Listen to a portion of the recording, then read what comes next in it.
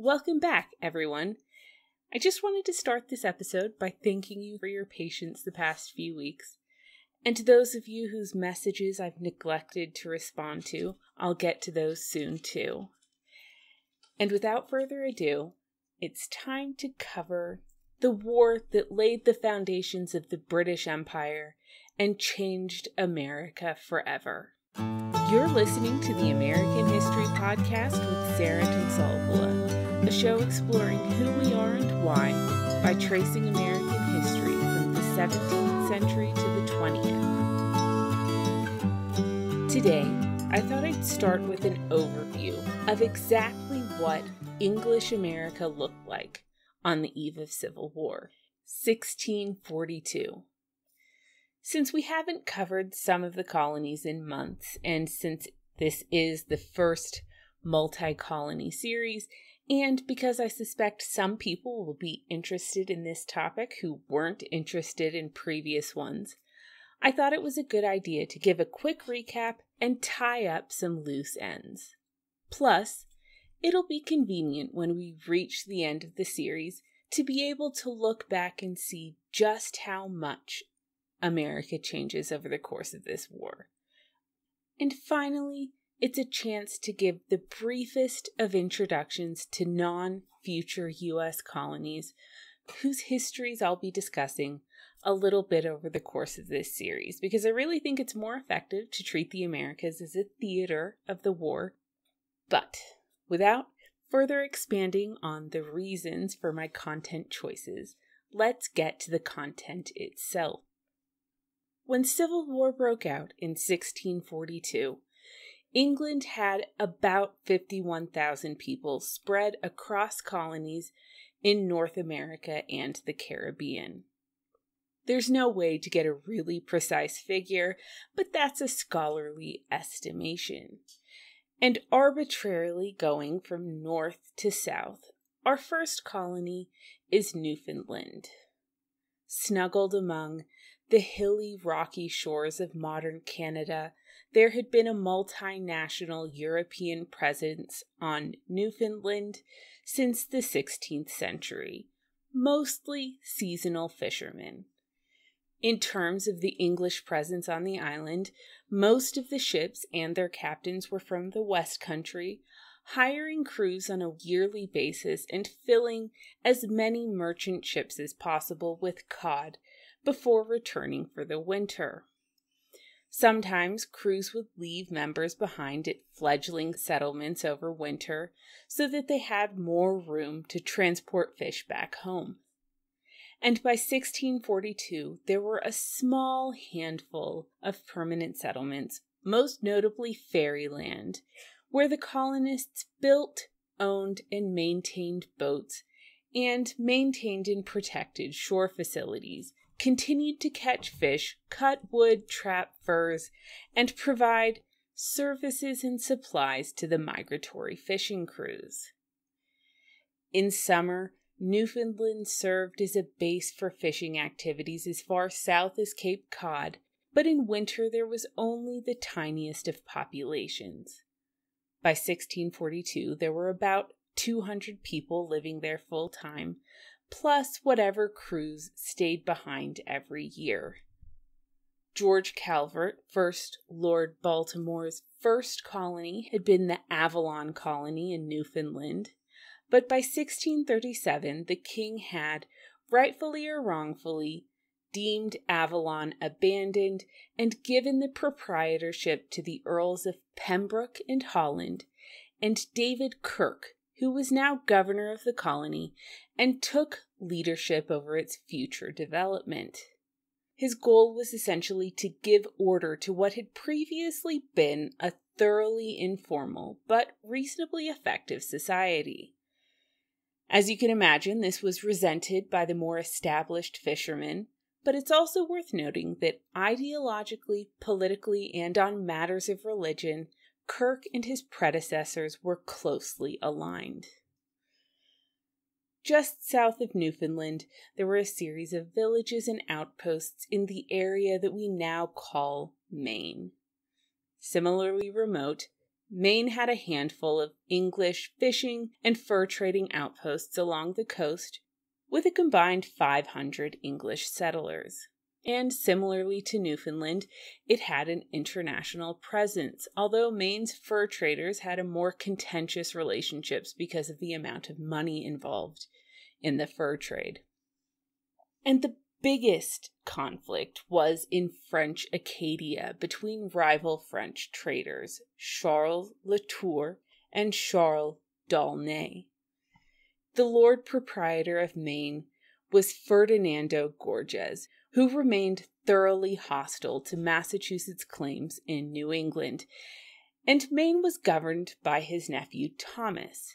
But while Ferdinando was and continued to be an ardent and steadfast royalist, his nephew was not. Thomas was a Puritan and had even spent a fair amount of time in Boston. But on the whole, the Maine population shared their proprietor's beliefs and sympathies. And moving south, we reach the region which, for convenience sake, I'll be referring to as New England. Technically, Maine is a part of New England, but in the 1640s, it was separated from the ideologically intertwined and largely unified colonies south of it. They shared a common goal and a history that Maine simply didn't, despite their governor's sympathy for it. So from now on, when we refer to New England, I'll be talking about Massachusetts Bay, New Plymouth, Connecticut, New Haven, Rhode Island, and Fort Saybrook. Unlike the small, informal settlements to the north, if you lived in New England, you lived in a relatively well structured town. In fact, you probably lived in a town with people who had moved over from England with you, as the vast majority of emigration to New England involved pastors taking their congregations with them. In fact, with the exception of Plymouth in Rhode Island, lone Puritans weren't even allowed to set out on their own in New England.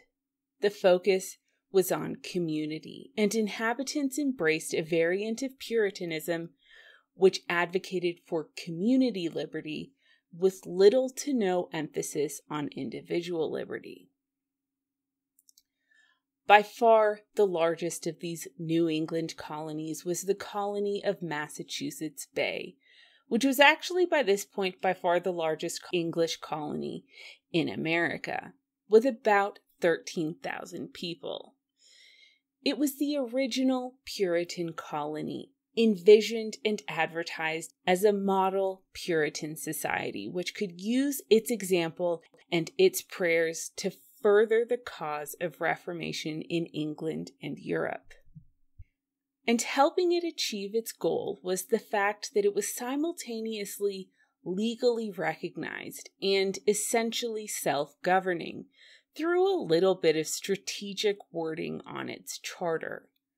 The king hadn't noticed the anomaly before they'd taken their charter to New England, where they essentially used it as a foundation for their own government system. Of the New England colonies, Massachusetts was the second strictest, but only second because it actually did have to accommodate the sheer quantity of people who'd moved there. As we've seen and as we will see, Puritanism wasn't a totally unified ideology. So when people with slightly different views came to Massachusetts, it stretched its notions of propriety ever so slightly to accommodate that. They still ended up in battles and exiling plenty of heretics while malcontents moved to and founded other New England colonies but there were definitely people with differences in Massachusetts united for a common cause. Though relatively affluent, Massachusetts was in the middle of an economic downturn in 1642 because a lot of its economy had been built on selling things like cattle to newcomers. When the political system started to look more hopeful for Puritans in England, immigration had essentially stopped. Massachusetts had built the foundations of trade and industry, but neither of these was developed enough to actually sustain an economy. Bordering Massachusetts Bay was New England's oldest colony, Plymouth. Plymouth's story, as we all know, started in 1620 with the Pilgrims, a group of Brownists. Brownism was essentially a type of Puritanism, but one which advocated separation from the Church of England instead of activism within it. In addition to their core congregation, they had a significant group of people who they referred to as strangers who embraced a wide variety of beliefs, from more standard Puritanism to more radical Brownism to Anglicanism. But by 1642, Plymouth was a very different place than it had originally been. In the years since Pastor John Robinson's death, and since the foundation of Massachusetts Bay, Plymouth had started to adhere to a more standard variation of the Puritan model. Most of the strangers had left, some to Massachusetts, a few to Newfoundland, but most to England or Virginia. Meanwhile, the pilgrims had to navigate life in what was no longer a wilderness and without the guidance of their deeply important pastor. Its early history, in which it had had to accommodate people of different beliefs, and Robinson's lingering influence, had made Plymouth a place that was much more amenable to individual migration and much more tolerant of a variety of beliefs and behaviors so long as they stayed within the Calvinist framework. So the majority of Plymouth's population was now comprised of people seeking more tolerance than other New England colonies were willing to provide, but without being the radicals who came to comprise Rhode Island. Puritans, but of a mellower stripe. And there were enough of these people that Plymouth had now expanded to include four towns totaling about 2,500 people. Plymouth was still a relatively poor colony, less affluent than any other New England colony except parts of Rhode Island. Its land was infertile, its harbor was inferior, and its early debt continued to linger. Not to mention that the Pilgrims had never been particularly affluent, either in England or in Leyden. And the fur trading posts, which had been supposed to support them economically, had been taken either by the French, actually, specifically by Latour, or sadly by Puritan newcomers. Their main economic asset was now the ability to sell cattle and land to newcomers because Pokanoket slash Wampanoag sachem Massasoit had agreed only to sell land to them enabling them to buy land cheap and sell it at up to a 500% markup. And as cattle and land became the primary economic assets, even the original Brownist congregation started to disperse, leading William Bradford to lament that they were choosing prosperity over their original vision. By 1642, they were even considering moving their capital to a new town at a better harbor, even though this was on land still reserved for the Indians, and even though the location was too small to accommodate Plymouth's whole congregation, which would mean even more decentralization. Plymouth was on the verge of and would soon complete the full transition from Brownist plantation to Puritan colony. Skipping Rhode Island for a minute, the next colony west of Plymouth was Connecticut, which had been founded by ministers, most notably Thomas Hooker, whose vision of a Puritan society clashed with that of Massachusetts Bay enough that they had moved to a place out of its control. Some of their differences were theological and some were political, but in short, the ministers and congregations who founded the Connecticut River towns, but in short, the ministers and congregations who founded the Connecticut river towns wanted a less severe society than that developing in Massachusetts. They were less strict in terms of religion, and they wanted a more democratic government with codified laws, the right for non church members to vote, and less legal discretion for judges and magistrates, who they viewed as a source of arbitrary power. In fact, it was the only Puritan colony apart from Plymouth to allow non church members to vote. Connecticut's milder citizens came largely from the West Country, one of the most steadfastly Anglican and Royalist regions of England, where Puritans of any sort were a distinct minority, and a place which supplied far more people to Virginia than it did to New England. Its governor was John Winthrop's son, John Winthrop Jr. These factors, combined with good land and harbors, made Connecticut one of the more affluent colonies in the region. But it had no charter, meaning it had no official state recognition or permission to settle.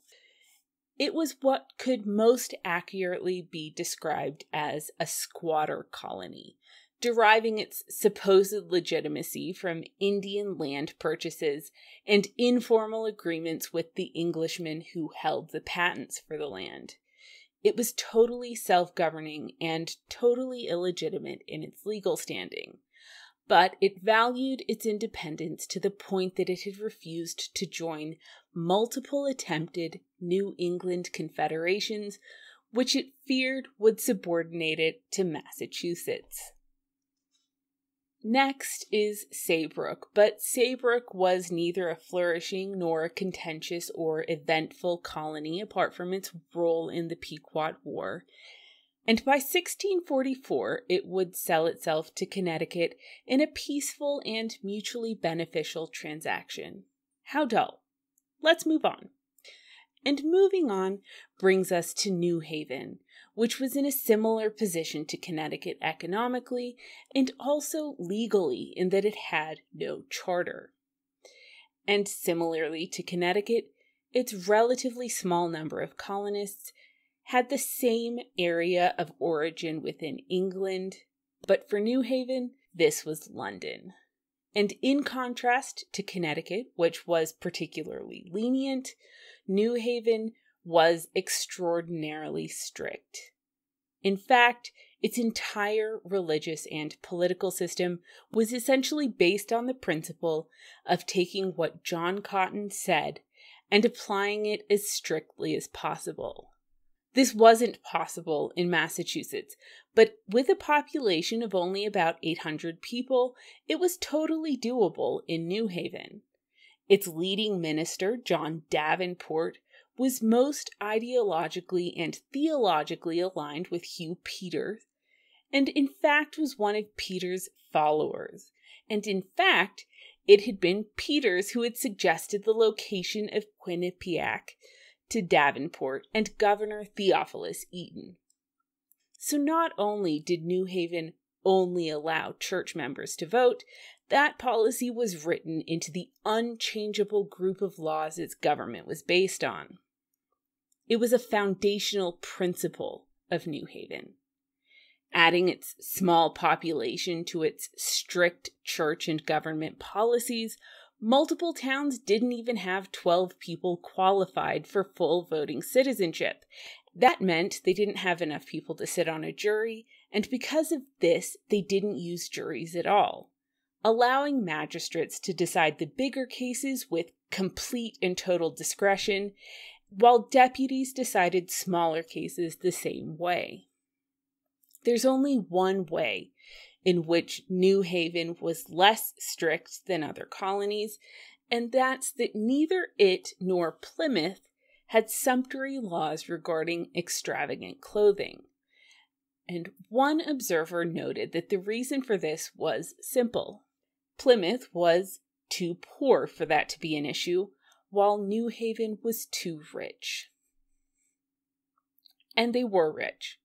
With a strong London mercantile tradition, they had left Massachusetts for two reasons. First was a stricter society, and second was more economic opportunity, dreaming of building up intercolonial and transatlantic commerce. And in addition to a particularly nice harbor, they had found fertile land and a strategic location for beaver trading and whaling. And that brings us to the region which, for clarity, brevity, and sanity's sake, I will be calling Rhode Island. More accurately dubbed a pariah colony than a Puritan one, this region consisted of four towns of New England outcasts, with a combined population of about 600. It wasn't exactly a colony in 1642, and like a number of the colonies we've discussed, it had no charter in 1642. Each town was a distinct self governing community, and by choice or by rejection, they were the most independent colony in a North America which was already pretty autonomous. Even the least radical of its citizens was there because they had in some way rejected the established order and had some level of distrust of power and anti authoritarianism. These were the people who rejected Puritan legalism every bit as much as they rejected Anglican formalism. They were Anabaptist, antinomians, and they would soon be Baptists and Quakers. All sects which emphasized the Holy Spirit, erring on the side of too little structure rather than too much.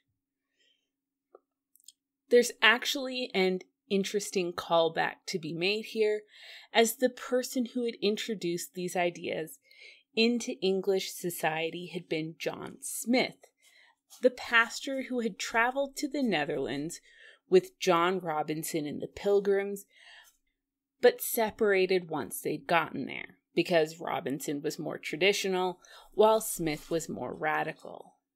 So while Puritan New England was hard at work building a theocracy, Rhode Island was full of people who were willing to leave everything behind and even live in shocking poverty to grow in a personal relationship with God.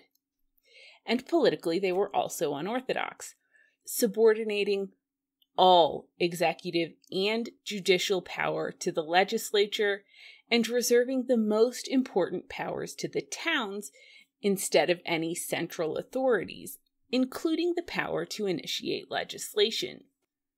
Two of its towns, Providence and Shawomet, were on the mainland, with their main figure being Roger Williams. These two towns were religiously more radical, and they were thoroughly impoverished. They had no artisans, and they lived in clumsily built wooden houses al- along a rough main street. They raised pigs and goats, which formed the foundation of their diet, along with game, fish, and corn. It was just a very rough poor existence with only the barest essentials for survival. On Aquidneck, or Rhode Island, existed Portsmouth and Newport, which had some of the finest estates in New England, with beautiful brick houses sitting in rolling hills which grew every type of food imaginable. There were horses, cattle, sheep, barley, wheat, oats, rye, hemp, flax, apples, cheese, butter, honey, venison, fowl, fish, wild berries, and nuts. They had multiple artisans and a wealthy, educated citizenry. They also had a budding shipbuilding industry, which was already allowing them to trade with Barbados. Led primarily by William Coddington, these people were less religiously radical than the mainlanders, mostly people banished for their support of Anne Hutchinson, Henry Vane, and John Wheelwright in the Antinomian controversy. And they were interested in a closer relationship with the other New England colonies, though they were told that they would not be accepted as an independent colony and would have to be absorbed by Massachusetts or Plymouth first. So, Rhode Island really was an extremely unique and also an extremely disliked part of New England. And New England out of the way, let's go down to the oldest region of English America and also the most ideologically opposed to New England, the Chesapeake. It's kind of funny, but within the bounds of the future US, we're the region that would be most loyal to the king and that which would be most loyal to Parliament. The first colony to proclaim Parliament, which was the last colony to proclaim Charles II, and the last colony to proclaim Parliament, which became the only colony which installed its restoration government before Charles II even reached England. That colony, the biggest, oldest, and most royalist colony in the Chesapeake, was, of course, Virginia, with a population of about 10,000, give or take.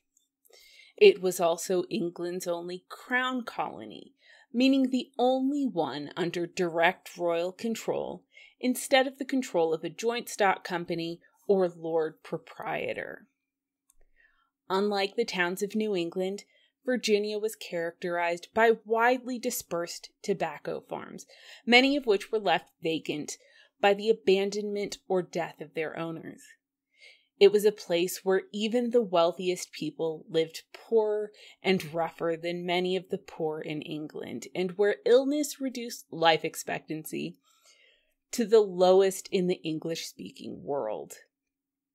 There are dozens of statistics to illustrate how hard life was there, but the one that sticks with me the most is that 75% of children lost at least one parent by the time they reached adulthood, and marriages only lasted an average of seven years before one partner died. In this rough environment, alcohol abuse was an issue, but theft really wasn't. Its population was dispersed enough that even if it had wanted to impose severe behavioral restrictions like Puritan New England, those laws would have been impossible to enforce. It was a relationship based society instead of a community based one. And this really extended throughout the Chesapeake, but it was first and perhaps most pronounced in Virginia. Now, Virginia was predominantly an Anglican colony, and while there was a fair amount of Puritan thought, little of it was as extreme as that found in Massachusetts. For lots of Americans who might have called themselves Puritans outside of New England, Puritanism really meant adding Puritan style services, sermons, and spontaneous prayer to the use of the Church of England prayer book. Most of the strict Puritan thought was concentrated at the colony's northern border, where John West and John Utty had settled and that was the only concentration of Virginians who really supported Parliament. Economically, Virginia had always struggled, but now that it was allowed to trade with the Dutch, and the Dutch paid about 20 times as much for tobacco as English merchants did, this had finally enabled Virginia to become prosperous enough that its governor, Berkeley, could successfully administer policies requiring that people build brick houses and grow a variety of crops to create a well rounded diet. So now they had apples, peaches, livestock, breweries, and herbs like thyme, marjoram, and rosemary growing in abundance for the first time ever. Berkeley also started requiring that ships trading in the colony who sold alcohol there simultaneously bring at least 10 times the value in necessary goods. So, for the first time in its 35 year history, Virginia was something better than hell on earth, a slaughterhouse, or a more efficient way of killing people.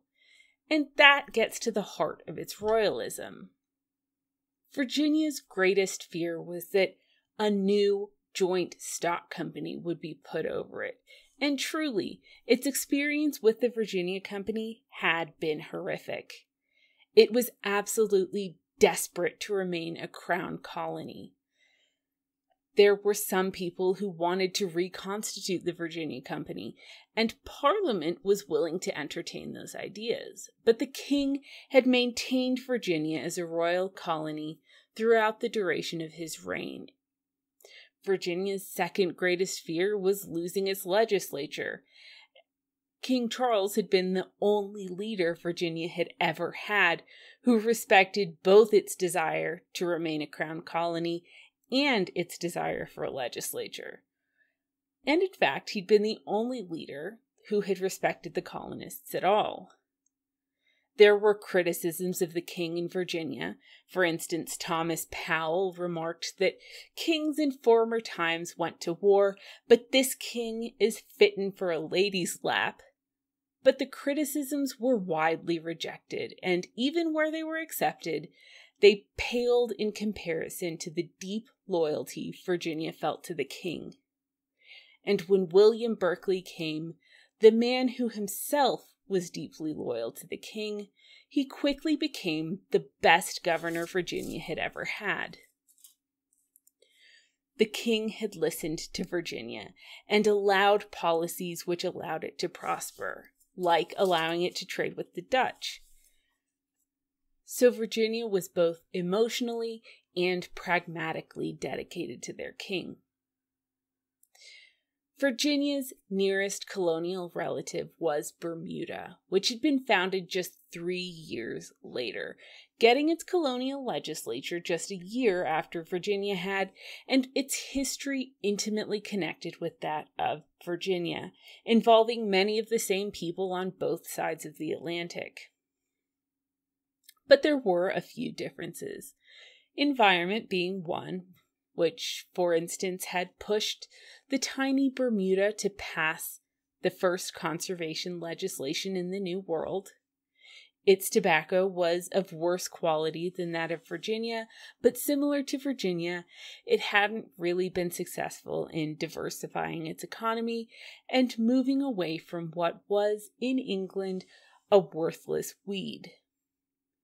But the biggest difference between Virginia and Bermuda was that Bermuda was still run by a joint stock company, with some of the same investors as those of the old Virginia Company, especially the Earl of Warwick. While Bermuda's colonists were democrat were demographically and culturally similar to those in Virginia, Warwick's leadership had definitely inserted a larger Puritan element, though again, one which was mostly less extreme than that of New England. Like Virginia, in Bermuda, there was frustration, gambling, brawling, and drinking, and they had dealt with more poor leadership than good. And poor conditions had pushed a fair number of colonists to move to either St. Lucia or Virginia. The third and most different Chesapeake colony was Maryland, under Lord Proprietor Cecil Calvert second Lord Baltimore, and his brother Leonard was governor. It was specifically founded as a haven where Catholics could live without persecution, though it was not officially a Catholic colony because it would never have been able to get away with that. So, while most of Maryland's leadership was Catholic, there were a handful of Protestant leaders, mostly friends of the Calvert family, and many of the colony's artisans and servants who were getting their freedom in ever greater numbers were Protestant and, in fact, mostly Puritan. And it had a Puritan settlement on Kent Island, whose residents had moved there from Virginia a year before Baltimore got the patent for the land who became for the land which became Maryland. So with a very small Anglican group in the middle, Maryland was largely comprised of Catholics and Puritans. It was the smallest Chesapeake colony with only about 600 surviving people, and it suffered from many of the same problems as Virginia, such as poverty, illness, low life expectancy, and the inability to successfully diversify its economy. And south of the Chesapeake was a group of fledgling settlements in the Caribbean. English presence in this region had begun with a long string of failed colony attempts in Guiana, whose only real accomplishment was when former Jamestown resident Matthew Morton became the first Englishman to travel the length of the Amazon River over the course of 13 months in an Indian canoe. But the Spanish and Portuguese were pretty adamant that the English not settle in South America, and by diplomacy, attack, or siege, they ensured that it didn't happen. But Guiana had united a lot of the people who would become active in Caribbean colonization, including the Earls of Pembroke, Carlisle, Holland, and, of course, Warwick. And it was one of the Guiana settlers, Thomas Warner, who ended up founding the first successful English colony on St. Christopher's, which the English called St. Kitts. And it was from Warner's colony on St. Kitts that the other successful English Caribbean colonies had sprung. Despite abnormally frequent hurricanes and a major Spanish attack, St. Kitts had grown big enough and fast enough that its population quickly spread. Nevis, Montserrat, Martinique, St. Lucia, St. Vincent, Grenada, Antigua, and assorted smaller islands, most of the Lesser Antilles, were under Lord Proprietor James Hay, the Earl of Carlisle, with Warner as governor and John Jefferson as his deputy and all of these were populated by people moving away from St. Kitts. And yes, according to what I read, John Jefferson is probably the ancestor of Thomas. But there was a conflict in the Caribbean centered around the island of Barbados because when a captain named Henry Powell had stopped by St. Kitts, and some of his sailors had mentioned Powell's intention to colonize Barbados, Warner rushed back to England to ensure that Carlisle's patent included Barbados. And only after that did Powell arrive in England and realize what had happened. He quickly found a backer named William Courteen to organize investment from England and rushed back to Barbados to get his colony started before Warner could start his. Courteen got the Earl of Pembroke to be his and Powell's patron and sponsor, and Pembroke's patent also included Trinidad and Fonseca alias St. Bernard, which didn't even exist. A while later, Pembroke sold his patent to the Earl of Warwick. So now the Caribbean was divided, and Barbados was in two different patents to two different people under two different spellings, with two different groups of colonists actually settled on the island, claiming that theirs was the legitimate claim. Conflict about this had, a few years before, led to a show trial and execution two people being kidnapped and chained to a ship's mast for a month, and the theft of multiple thousands of pounds worth of tobacco.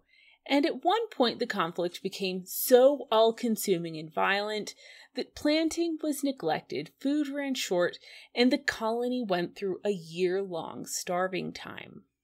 While their masters had bickered and fought, the servants had stopped working and indulged in the classic colonial escapism drinking. In England, the king had settled the conflict in Carlisle's favor, but to no effect on Barbados. For a while, Henry Hawley, brother of Maryland official Jerome, had been governor of the island, appointed by Carlisle, but then shifting his allegiance to Warwick when Carlisle withdrew his commission. and Warwick let him continue as governor, so now he was vying to keep his position against Carlisle's new appointee, Henry Hunks, which he did by purging troublesome officials, but then Hunks had shown his authority and sent Hawley back to England, where he was charged with and then exonerated from 13 barely believable charges in 1641. The conflict was only ended when Hunks was replaced by Philip Bell, the old Bermuda and Providence Island governor, and a man that both Carlisle and Warwick could agree on for the job. So in 1641, Bell had moved there as governor. So by 1642, St. Kitts and Barbados were the two main colonies, with settlements of varying sizes on multiple other islands which closely resembled those on St. Kitts. Colonists in all the colonies grew tobacco as their primary commodity because it was the perfect crop for a new colony, apart from the fact that it was worthless. It wasn't particularly labor intensive, and there were plenty of people available who could teach settlers how to grow it. They also planted cotton for a similar reason. And more than anywhere else in the Americas, colonists across nationalities had close relationships and connections, closer in many cases than they did with their own home governments. They shared islands freely and were united in enmity of the Spanish and fear of the Carib Indians. Their buccaneers fought together, and they dealt with the same hurricanes and experimented with the same commodities. But because the Dutch economy was so much more developed, the Dutch definitely ended up driving the most economic development in the Caribbean. It wasn't yet a prosperous life, but it wasn't an altogether unpleasant one, and we have some vivid images of what life is like there from a man named Henry Colt, who unfortunately was executed by the Spanish in 1632. He had tried to set up a colony, with his son organizing things from England, and he had sent back tobacco, pines, plantains, guavas, prickly pears, and pepper. He talked about the value placed on fresh water, about eating his dinner off of a chest on the beach, and he also told his son that he'd considered sending his grandson a parrot, quote, but they be cursed and biting. So that's a summary of English America on the verge of war. No colony yet had many Africans, and every colony had a few. Only on Rhode Island were they specifically not slaves, and only in Massachusetts and Connecticut was slavery codified, something which had been done after the Pequot War. No colony was doing extremely well economically, but most had reason for optimism, and most colonies were operating with a large degree of independence from England. There wasn't much English oversight, and colonists had essentially the same legal status as Englishmen in the home country.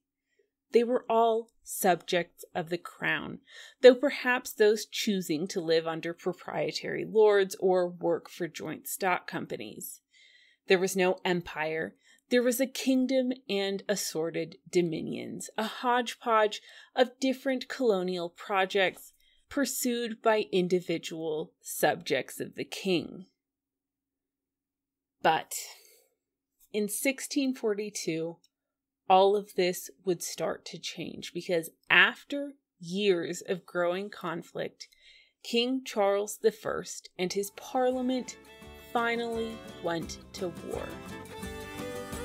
And next week, we'll look at exactly how that happened and how colonists reacted.